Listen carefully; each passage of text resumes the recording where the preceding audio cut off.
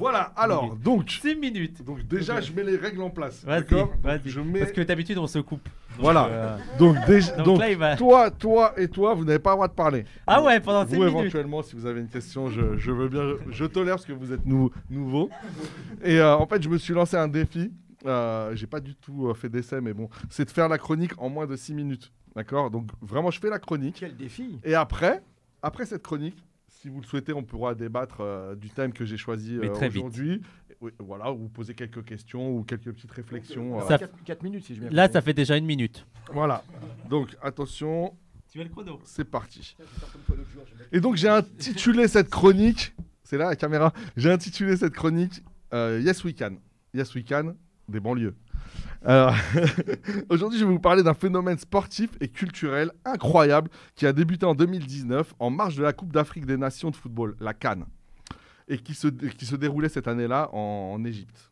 Qui était le vainqueur La Cannes 2019 Je crois que c'était l'Algérie. L'Algérie. Voilà. Il s'agit de la Cannes des quartiers qui s'est ensuite déclinée en Cannes des banlieues, en Coupe du monde des quartiers ou encore cette année en Coupe nationale des quartiers. Pour faire simple, il s'agit de tournois de foot organisés dans les, quartiers populaires, euh, les quartiers d'immigration, euh, on ne sait plus comment les appeler, en fait, euh, les cités. Principalement en région parisienne, mais aussi dans certaines, dans certaines régions de France, durant lesquelles les joueurs représentent leur pays d'origine. Au départ, c'est à Créteil, à Évry, c'est vraiment ces deux villes qui ont boosté le phénomène, avec le soutien sur les réseaux et même sur place euh, de stars du rap comme Niska ou de stars du, foot comme, euh, comme euh, Karim Benzema, donc qui avait fait la, promotion parce qu'ils se reconnaissaient dans, ces, nouveaux, dans ces événements d'un nouveau, genre. Et donc, c'était les pays africains qualifiés pour, pour les premières éditions. C'est les pays africains qualifiés pour la Cannes qui étaient représentés Sénégal, Maroc, Congo, euh, euh, Algérie, Cameroun, Mali, etc. Et progressivement, des représentants d'autres diasporas, la Turquie, les pays asiatiques. Cette année, on a vu apparaître la Célessao pour les, les pays euh, enfin, d'Amérique du Sud, d'Amérique latine. Et plus récemment, la France. Je sais pas- ouais, je sais pas pourquoi. On a vu- dans les quartiers. ouais, ouais, non, non, je plaisante. C'était- On a vu aussi des équipes palestiniennes et kurdes dans certains tournois. Le peuple des quartiers, quoi. El pueblo de la calle. Comme, comme on, comme on dit à, comme on dit à Medellin. comme on dit à Medellin. Alors, vous me direz que de tout temps, il y a eu, euh, en fin de saison, des tournois de foot interquartiers, euh, intervilles pour ponctuer l'année sportive. Certes. Mais c'est vraiment, mais c'est vraiment l'engouement de plus en plus fort pour la Cannes depuis, je dirais, 10-15 ans. Tu me diras, Ahmed, ce que tu en penses après les 6 minutes. Avec une couverture médiatique de plus en plus forte, associée au sentiment euh, d'appartenance aux sélections nationales, euh, aussi au- en augmentation. On, le voit, hein, un, attachement, euh, notamment des jeunes générations, euh, voilà, aux équipes euh, du Cameroun, de Côte d'Ivoire, d'Algérie, du Maroc, d'Égypte ailleurs, qui ont accéléré l'émergence de ce phénomène des cannes des quartiers. On a tous en mémoire les célébrations de rue des supporters, notamment bon, algériens, marocains, etc., avec les drapeaux, les fumigènes, la musique rail. Et également, plus récemment aussi, les joutes verbales euh, entre supporters sur les, des différents pays, sur les réseaux, durant les compétitions. Euh, c'est vrai qu'à chaque fois qu'il y a une canne, euh, voilà, on, se, on se chauffe pas mal sur les réseaux. Et des fois, c'est pas drôle. Voilà, ça, ce sera éventuellement un élément de, débat. Il y a le grincheux qui va en parler. Ah ouais, non, mais c'est- des, éléments, justement, je ne donne pas toutes les billes pour qu'on puisse aussi euh, discuter. Donc on a tous, euh, on a, on a- on- donc on a des tournois qui se jouent durant plusieurs week-ends consécutifs et plus souvent avec un format, le plus souvent avec un format de foot à 7, donc euh, sur des demi-terrains, pour faciliter la constitution des équipes et l'orga- et l'organisation des matchs. Et le public a répondu présent. C'était incroyable. Des centaines, je ne sais pas si vous avez vu ça sur les réseaux, mais des centaines, voire parfois des milliers de supporters jeunes. Mais euh, je, je sais parce que je, je suis les- la, la- la- la coupe, euh, cette- ce qui s'appelle aujourd'hui la Coupe nationale des quartiers euh, qui a lieu à Créteil. Donc j'ai une personne euh, qui est sur place et tout qui me raconte beaucoup de familles, d'enfants, etc. Donc ça, ça, c'est vraiment familial. Se massant autour des terrains et envahissant le carré vert à chaque but de l'équipe soutenue. C'est juste spectaculaire. Je ne sais pas si vous l'avez déjà vu. Mais en gros, vous avez le demi-terrain, vous avez des fois euh, 1000, 1500 personnes Ouais. qui sont massées autour du terrain. Et dès qu'il y a un but, envahissement. Et j'ai demandé au- à un joueur donc, euh, de l'équipe d'Algérie, donc de la Coupe nationale des quartiers, qui, qui joue là en ce moment. Je lui ai dit, ouais, ça, ça fait quoi? Il me dit, franchement, il me dit, ça, ça, ça fait plaisir. Vas-y, hein, quand tu veux, euh, la voix.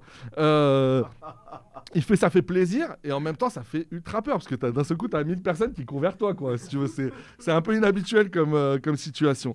Euh, et, euh, et, pour pas, et, et voilà, et donc, en fait, c'est vraiment, euh, voilà, Et il le dit avec très peu de débordement dans la majorité des villes en plus. voilà, mais. Oui, Euh, c'est le, le- le truc, c'est que le truc, c'est que voilà, c'est, on est vraiment dans une expression populaire, le football, euh, le des quartiers, etc. Et pour paraphraser le youtubeur Lamagnan, les Cannes des banlieues, c'est un peu l'avènement du check play. Je sais pas si vous vous souvenez, il y avait le Joga Bonito, c'était le jeu euh, brésilien, voilà, euh, technique, etc. Et aujourd'hui, on est en train de, de voir l'avènement du check play, c'est-à-dire le foot issu des quartiers, des rues de nos cités. Ces terrains improvisés entre deux barres d'immeubles, un jeu qui allie, je cite la maniane, créativité, vitesse, technique, endurance et mental. Le foot de la street. Et c'est vraiment ça. C'est-à-dire que vous avez des petits, des petits terrains, jeu très technique, mais en même temps dur sur, euh, dur sur l'homme, la gagne. La gagne. C'est-à-dire que les mecs, là, ils, c'est pas. Bien sûr qu'ils savent très bien que c'est symbolique de représenter, euh, euh, je sais pas, euh, Madagascar ou, euh, ou, je- ou les Comores. Bah, je cite d'autres pays. Bah non, mais je cite d'autres pays parce que j'ai cité là, déjà l'Algérie. un peu méprisant. Non, pas du tout. Non, non, non, non, non. C'était pour dire, pour citer d'autres pays, pas du tout. Ouais. C'est- symbolique, c'est-à-dire que c'est pas, c'est pas ça l'objectif. Ah, ça fait 6 minutes. D'accord. Allez, c'est bon, on Voilà. fait là. Donc le temps additionnel dans un match de foot, il y a le Ah, temps t'as additionnel. Ah, le temps additionnel, deux Elle est minutes. préparée. Deux mais ils minutes a- de temps. préparé la de- blague. Mais Les ils inventent. Mais non, mais j'ai été, j'ai été, euh, bah, j'ai été coupé, monsieur l'arbitre. C'est vrai. D'accord, la Deux VAR. minutes en plus. Vas-y. Et donc, euh, euh, je sais plus où j'en étais. Donc tout ça s'accompagne souvent d'animations, de barbecue, de musique. Bref, la culture populaire dans son expression la plus simple, mais aussi la plus efficace, car sans arrière-pensée, par le peuple et pour le peuple. El Pueblo. El pueblo, por el pueblo, para el pueblo. Fort heureusement, très peu d'incidents sont à déplorer à ce jour, malgré le côté débordant de certaines rencontres, viril mais correct comme on dit dans le jargon, pourvu que ça dure. Car on, on sait que ceux qui ignorent royalement le phénomène s'empresseront de dénoncer la dérive communautariste des quartiers si un événement dramatique survenait. Selon certains organisateurs, le fait que les joueurs ne, ne jouent pas sous la bannière d'un quartier ou d'une ville, mais symboliquement d'une euh, nation d'origine, serait plutôt un facteur d'apaisement des tensions, c'est à discuter encore, entre quartiers. Ça reste à confirmer. Comme on peut s'in- s'interroger légitimement sur l'exaltation d'un sentiment national qui peut sembler à certains égards artificiellement entretenu et un peu surfait pour être clair. Je, pareil, c'est un élément de débat. Qu'est-ce que ça dit des jeunes Français issus de l'immigration euh, parfois de troisième, voire de quatrième génération. Parce que c'est pas, euh, pas des blédards, hein, des, la plupart, c'est des jeunes euh, qui, qui sont, euh, ils, ont, ils ont leurs grands-parents en France, quoi. Comme mon neveu Yacine, salut Yacine, qui représente l'Algérie cette année. Ça aussi, c'est une question. Qu'est-ce que ça dit? Voilà, moi, je n'ai pas, de- pas de réponse toute faite comme ça, mais j'ai envie d'en d'en parler aujourd'hui ou un autre jour pour savoir un petit peu bah, qu'est-ce que- qu'est-ce que qu'il y, a- y derrière ça? Pour ma part, au-delà de la dimension identitaire dont on va discuter ensemble si vous le souhaitez, je veux y, je veux y voir une réponse cinglante, spontanée et dans une certaine mesure inconsciente à un foot business qui exclut de plus en plus ceux qui sont les principaux créateurs de ce spectacle, les jeunes de banlieue et disons les choses cash, les jeunes noirs et arabes des quartiers. Rappelons que les quartiers d'immigration sont les principaux pourvoyeurs de joueurs de très haut niveau dans les grands championnats européens, majoritairement des indigènes.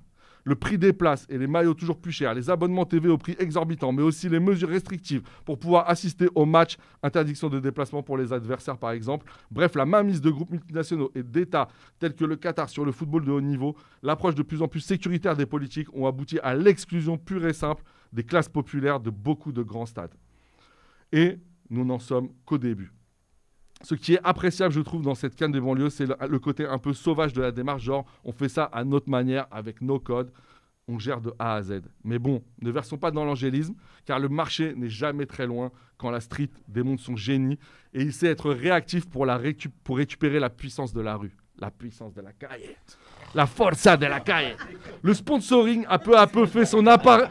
Le sponsoring a peu à peu fait son apparition et depuis 2022, une plateforme très célèbre, Ah Prime Video, Ah ouais? Diffuse, ouais, Prime Video diffuse les matchs, matchs et reportages. Ah ouais. Ils vont diffuser la finale et ils vont faire un documentaire sur le Et sur une l'événement. Petite question déjà. Et- Non, non, non. Alors, ce qui semble inéluctable, c'est-à-dire la monétisation de ces événements, va-t-il tuer l'esprit frais et subversif qui en fait l'essence et tout simplement la raison d'être? Qu'adviendra-t-il de toute cette beauté? Ah, ah, ah, bravo. Bravo. Samir. Très belle chronique de Samir. Très belle, hein 12 minutes. Moi qui n'ai rien à foutre, moi, moi qui ai rien à foutre du foot, bah franchement, j'ai trouvé ça bien. Merci. Et t'avais une question. euh, Ouais, deux questions. Alors d'abord, Alors on va faire très vite parce qu'après il y Ouais, aura ouais, d'accord. Ah ouais, c'est ennemi. eh ben, très très bien. Alors très rapidement, un souhait. D'abord, j'espère qu'il y aura bientôt une équipe palestinienne euh, hein, dans, dans cette Ça, scène des- non, mais ça arrive dans certains Ouais, tournois. ouais. Ouais, il l'a dit hein, entendu d'ailleurs. dire. Deuxièmement, euh, c'est complètement autogéré au départ. Bah Complètement. oui, Ouais. Alors donc ça veut dire que le marché va s'y intéresser évidemment comme c'est ce d'habitude. qu'il a dit. C'est ce qu'il a dit. Non mais je suis bien d'accord. Mais mais ce que je veux dire c'est que quand on dit que c'est autogéré, euh, comment euh, les, les- les gens qui l'organisent, c'est- pas spontanément, c'est pas fait spontanément partout au même moment. Je veux dire, il y a bien une coordination qui se fait. Alors, en fait, tu as des cannes dans différents endroits. Non, je sais bien, mais Ouais. Ah oui, dans différents. Ils n'ont pas de coordination entre elles. Ça, que je voudrais savoir s'il n'y a pas une coordination nationale. de- Non, non, non. C'est, euh, non, non. Ah, non, non, c'est en fait bordel. chacun organise sa petite. C'est euh, c'est vraiment totalement la, la, la- la C'est spontanéité pour ça comme que je ça. dis- C'est pour ça que je dis que c'est symbolique, C'est c'est-à-dire que le, le mec qui joue dans une équipe, il peut pas, il peut pas dire oui, je suis euh, le me- un- parmi les meilleurs Algériens. C'est pas du tout le. Alors, en même temps, c'est bien parce le, que le c'est- sujet. Le, sujet, c'est de dans, son lieu de vie, dans son lieu. Par exemple, il y en a une au temps, c'est Muro. une faiblesse et, une force. il y en a à. Clermont, il y en a à. Créteil, etc. C'est par ouais, exemple, à Év- pour prendre le cas d'Evry, c'est le Ouais. quartier des Épinettes. Ah ouais, et ouais, en je fait, il y connais. avait beaucoup de, de violence dans ce Ouais, quartier. ouais, ouais, Et en fait, il, il faisait souvent des matchs interquartiers et ça finissait tout le temps en bagarre. ouais, et en fait, ouais, là, ouais, ouais. Au, au moment de la Cannes, ils ont, euh, ils ont, ils se sont dit tiens, on va faire euh, un match avec où les gens vont représenter leur pays et en fin de compte, enfin leur pays d'origine. hein, et en fin de J'avais compte, vu ils se ça, sont rendus ouais, compte que ouais. ça avait euh, calmé Apaisé un euh, petit peu, complètement le, les le tensions. climat. ouais. Ça, ça vous donnait envie de jouer là? Qu'est-ce qui se passe? C'est ça cette- Non, non, c'est parce qu'on Vous avez une équipe de. a eu un tournoi. euh, Et ben proposez-vous pour euh, Ouais. représenter la Palestine. sur- Moi je joue avec vous, vous, vous m'adoptez? Grave, franchement, Ouais, avec Ils font du plaisir. foot, ils font du foot aussi, la, la, joue bien. Franchement, ça serait génial. Mais c'est sérieux, hein vas-y, moi je joue en vrai de vrai. Ah, mais vraiment. Il a le quoi Le maillot palestino. T'as le maillot palestino Ouais. Fallait FC Palestine. Bah, c'est Ah une ouais. super bonne, tu vois. Eh, voilà. tenez-moi au Ah courant ouais. parce que Eh je bah- cherche des Ah, gens pour jouer là. c'est pas Et bon, bah c'est là pour je moi, joue, hein. eh, pour moi on est exactement dans l'esprit de la canne des quartiers. C'est-à-dire que en fait ça, c'est-à-dire que ça Auto-organisation, nous, appart- spontanéité. ça nous appartient. C'est-à-dire que là en fait, vous, là on vient de décider et ils pourront pas dire le, ils pourront pas dire non. Tu vois ce que je veux dire? C'est-à-dire que tu vas à la FFF, tu dis ça, ils vont dire alors euh, remplissez le dossier B12, euh, le formulaire. Là le, le- le gars tu vas dire eh frérot, on a l'équipe de la Palestine, c'est comment? Frérot, vas-y viens. Mais Et voilà. c'est- c'est- la, la puissance de la street. Ça a changé La- médiatiquement, mais je, je- je- sais pas si ça te faisait, mais moi petit, quand j'étais petit dans mon quartier, on, organi- on en organisait ça. Genre tu payais, oui, mais, Mais avec à les pays. Saint-Étienne, je Avec suis à- les pays. Non mais attends, je suis à- Saint-Étienne Mais avec à les pays. Saint-Étienne. Non, pas avec les pays, Voilà, mais genre dans les quartiers, t'avais les tournois. Mais Tu c'est- t'es- Mais c'est vraiment autogéré, c'est Ah, genre ça, je l'ai dit aussi. t'avais les grands frères. Ouais. Je disais que c'était. Tu payais c'était 5 que il y a- euros, de tout t'avais temps, le il y a prix à eu la des- fin. De tout temps, il y a eu des tournois. Oui, mais 5 euros. Attends, En 5 euros, t'avais la journée, t'avais des prix.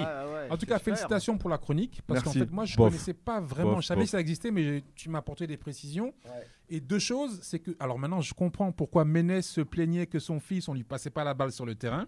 Tu vois Parce que j'imagine que ça doit être quand même assez chaud. Donc, moi, j'ai Ah, beaucoup joué au basket hein, à. Sarcelles. Et je veux dire, c'est c'est quand même assez. euh, Faut rien attendre, faut prendre. Ouais, faut être solide. Ouais. Et deuxièmement, je comprends pourquoi il parle d'islamisation du football. Parce que je comprenais pas avant, quoi. En fait, les gens se prennent en charge eux-mêmes pour pouvoir en fait régler leurs problèmes et pour pouvoir en fait s'organiser.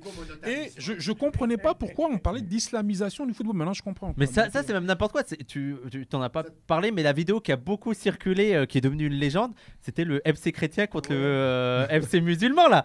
Et euh, donc, euh, mais oui, ils avaient Carrément, joué euh, chrétien musulman. Ils avaient fait euh, celui qui perd doit se convertir. Et c'était vraiment dans les quartiers, chrétien contre musulman. Ah Et ça s'est super bien passé. Genre, Bien sûr, bien sûr. Et Ça, un c'est peu ce que je te disais tout à l'heure avec Zlatan. C'est que dans les quartiers, il y a ce côté justement joute. Oui, Tu vois. Ouais. Je dis pas, attention, Oui, pas. Il y a je- toujours je des, mets- Je suis pas dans euh, la tête de Zlatan, il est peut-être Hmm. négrophobe et je, j'en- tant, euh, tant pis pour lui, j'allais dire. euh, Enfin, euh, triste de lui si c'est le cas, tu vois.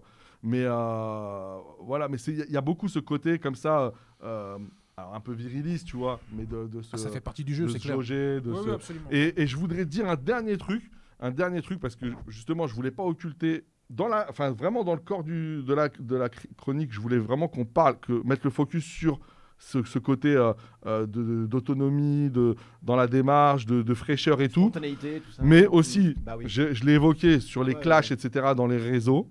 Et en 2019, la- l'année où il y a eu euh, donc euh, l'explosion des, des coupes des cannes des banlieues en même temps que l'engouement sur les cannes parce qu'il y avait aussi la diffusion sur euh, la chaîne l'équipe etc sur euh, Bein Sport etc il y a eu aussi l'assassinat de Mahmoudou Bari de. Mahmoudou. Bari et c'est comme c'est par ça que je voulais terminer paix à son âme, de Mahmoudou Bari, donc à Rouen, Mm. et qui a été donc assassiné. Alors après, on- on- sans rentrer dans les détails et tout, mais on sait très bien que le climat, euh, je veux dire, d'antagonisme, euh, disons les choses clairement, hein, entre les Noirs et les Arabes, a contribué à, à ça. Donc si je, je fais aucun angélisme, je fais aucun angélisme, si à, à la marge même, ces, ces opérations, elles permettent justement de d'a- d'atténuer et de, j'allais dire, de, de favoriser justement Une euh, éducation une, populaire. voilà, une éducation Voilà, populaire, mais justement, et de, et de faire reculer ces idées de négrophobie, notamment euh, euh, arabes, maghrébines, et bah écoute, moi je prends. Bah, bien sûr, Ouais. puisqu'on-